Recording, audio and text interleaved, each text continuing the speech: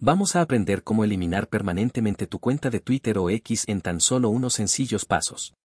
Este proceso es el mismo tanto en dispositivos iOS como Android, así que vamos a abrir nuestra aplicación X y asegurarnos de que has iniciado sesión en tu cuenta.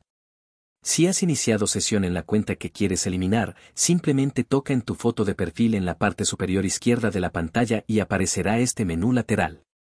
Quieres expandir esta sección de configuración y soporte, y después de eso haremos clic en la configuración y privacidad.